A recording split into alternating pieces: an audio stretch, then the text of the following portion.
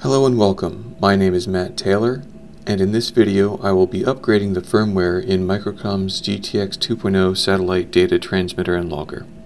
As you can see, I have already downloaded the executable and hex files I will need for this upgrade. The upgrade utility can be downloaded from Microcom's website, and the hex files can be emailed as needed. The first step is to launch the upgrade utility on a Windows-based PC with an RS-232 serial port or a serial to USB dongle. The version of the upgrade utility is displayed in the lower right hand corner of the GUI, seen here as version 2.18. Looking at the lower left hand corner, it can be seen that no COM port is currently selected. We will need to select the COM port that will be used to program the GTX. This can be done under the Preferences menu and choosing the COM port selection. And in my case, I'm using a serial to USB dongle, so I'll need to manually type in COM port 31 by selecting the More menu option and typing in 31. Clicking the OK button will enter this selection. In the lower left hand corner, it can be now seen that the COM port has changed from none to 31. Next, we're going to make sure that we've got the GTX connected and powered. We can see that the power light is flashing and the serial port is connected, meaning that the GTX is ready to be reprogrammed. Now we can click the Current Version button to query the GTX for its current firmware versions and the serial number. It is recommended at this time to document the current firmware version and serial number for purposes of traceability. Two firmware versions are reported, the main processor's firmware version and the TKM's firmware version. In my case, the main processor is reporting version 2.28 and the TKM processor is reporting version 4.6. Knowing the main firmware version number is 2.28 and my serial number, I know that the GTX should be updated to main version 2.30 and TKM version 5.0.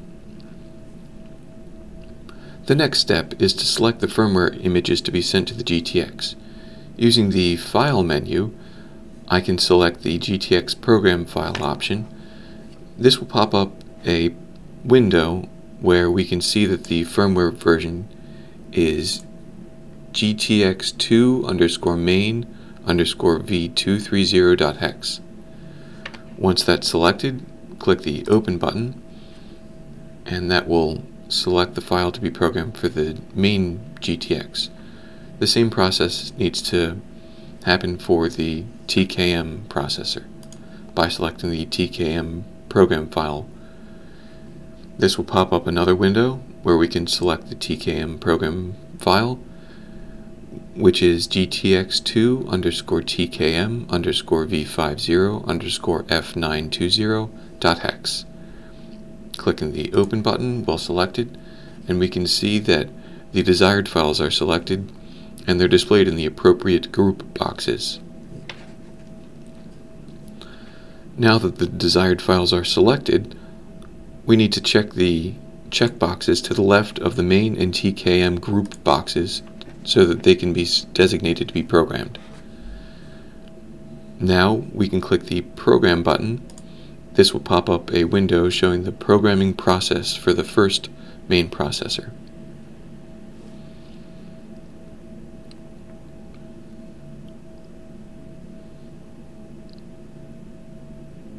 The process of programming the main processor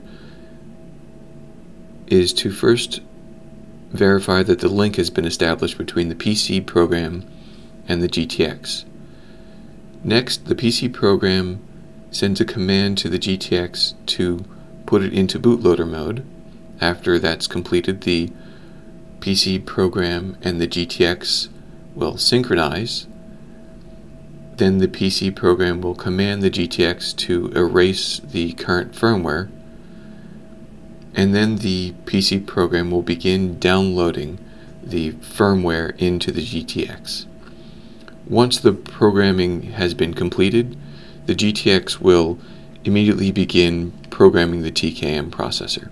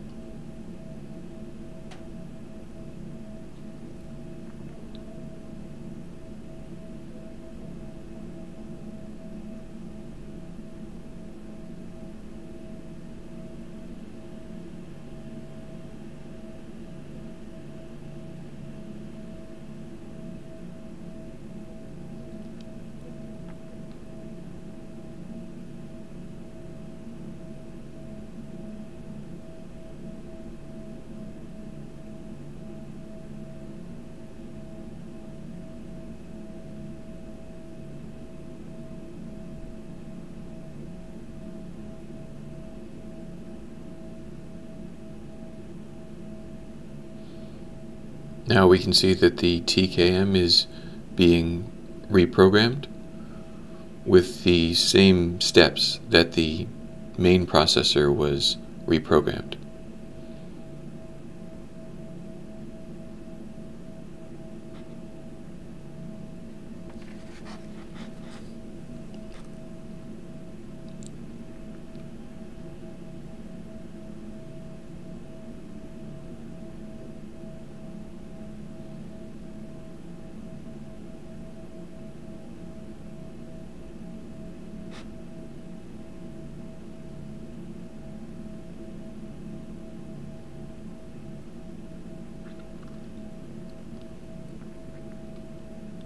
Once the reprogramming operation is complete, the application will automatically restart the GTX and request the new firmware status.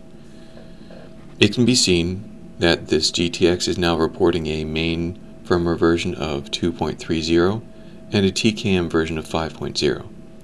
The GTX has now been successfully updated. It is recommended to log the updated firmware version now the GTX is ready to be configured and deployed. And remember, if the GTX was already configured in situ, it will need to be enabled before it will begin making transmissions. The deployment process is discussed in another video.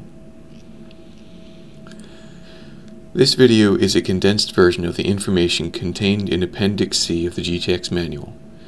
If you are in need of more detail regarding the upgrade utility, the GTX manual covers all the features of the upgrade utility in depth. If you are having trouble with your GTX, please do not hesitate to call or email. Thank you for watching.